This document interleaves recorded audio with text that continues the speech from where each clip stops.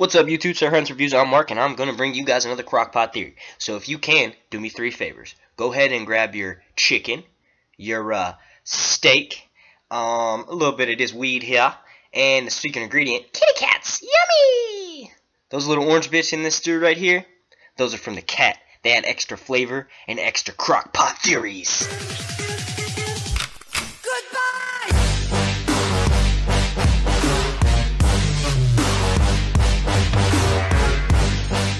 Dinner is served.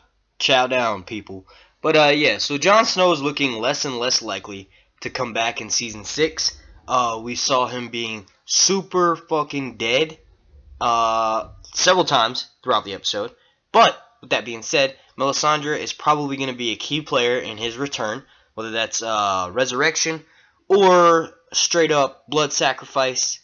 And well, I guess that, that's the same fucking thing as resurrection, but I'm I'm leaning towards this necklace that necklace has got some magical fucking properties to it. We found out season 6 episode 1 Game of Thrones that Melisandre's necklace actually makes her appear to be in her I'll say early to mid 30s when she's actually around let's see if you take the 4 minus the 6 plus 7 off 400 fucking years old. Sorry for screaming in y'all's ears. I just got extremely excited because well, it's Game of Thrones. But I think we can all agree that this necklace right now has a lot of magical properties to it. It is responsible for Melisandre's glamour. Now let's look up the definition of glamour.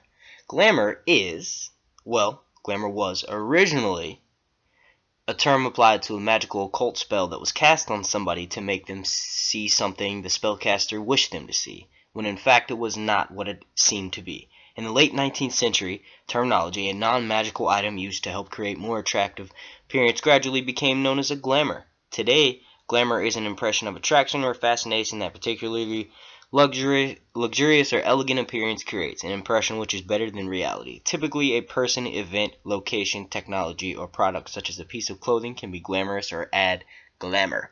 Alright, so now that I just regurgitated those words to you guys, let's look at the key parts of what this this little wiki wiki page was saying. It is something that is made to make somebody see something that the person who cast it wish that that person would see. In relation to Game of Thrones, Melisandre is using her necklace as a glamour to appear to be about 30 to 35 when all actuality she's like a few hundred years old or I think they said like 300 in that little interview. At this point in the video everybody's probably wondering what the fuck does this have to do with Jon Snow coming back? Well, what if the times that we see Jon Snow in the trailer here um, this is probably halfway through I think First trailer, um, we also get another shot of him here. And these shots are actually not Jon Snow. And really, they are Dolorous Edd. Melisandre has given her glamour necklace to Dolorous Edd to rally the troops when the Wildlings are fighting the Boltons.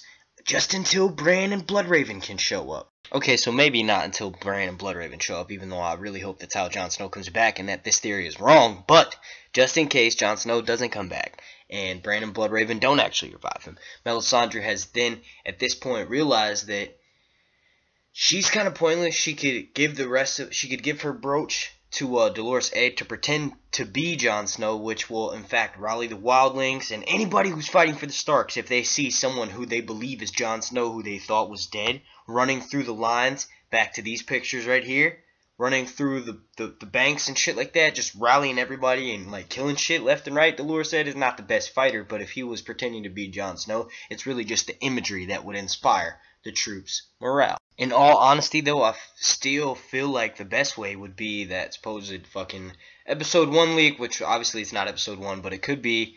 The way Jon Snow comes back was through Bloodraven and Bran. Uh, they are right around the corner. It would just be an easy scapegoat if they're trying to make it seem like Melisandre's completely lost her faith and they don't want to go the Thor Mir route, where that's how he brought back Beric Dondarrion, where Thoros had virtually lost all of his faith in uh, the Red God R'hllor, and he just so happened to pray over his buddy Beric Dondarrion's body, and then Beric came back. So if they don't want to go that route, where Melisandre's basically doing the same thing, where she loses all her faith, and she takes off her necklace and she basically gives up on it and then she just goes and just prays over his body and then Jon Snow comes back.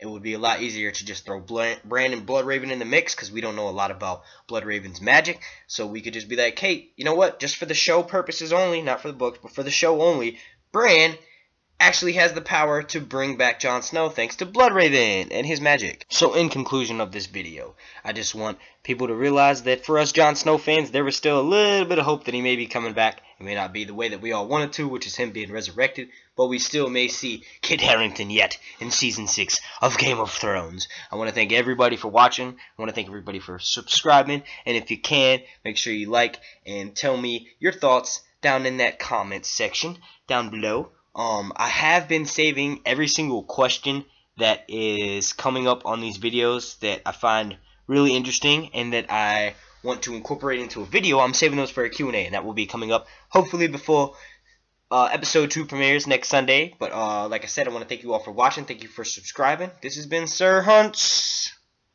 Reviews.